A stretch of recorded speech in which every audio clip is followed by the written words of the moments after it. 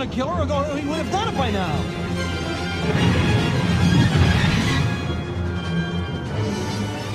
He's driving her the way he drove the others, to the castle, to King Haggard. Please, please do something.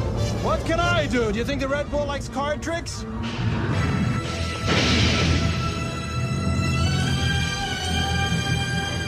If I could, I'd change her into some other creature, some beast too humble for the bull to be concerned with. But that would take a real magician with real magic, and I can't pretend anymore. But you do. You have magic. Maybe you can't find it, but it's there. You call Robin Hood, and there is no Robin Hood. You have all the power you need if you dare to look for it.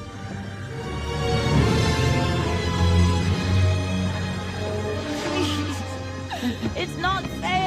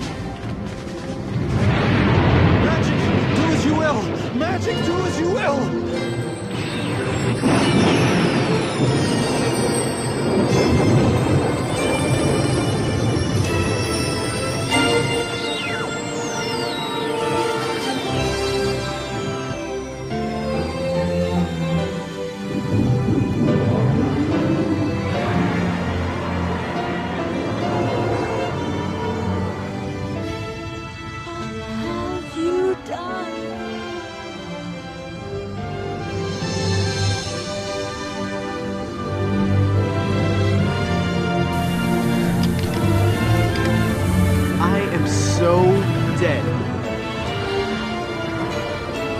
What have you done? What have you done? What do you mean, what have I done?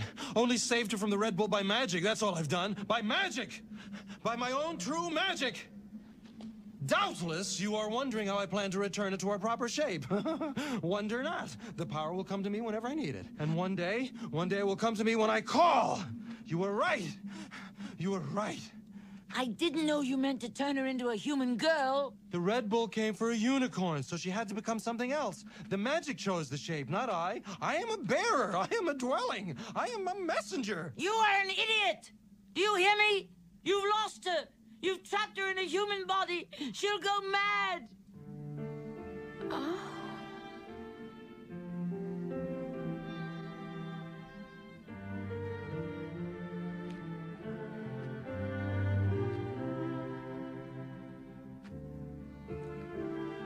I can change her back. Don't worry about it. I, I can change her back. What have you done to me? Oh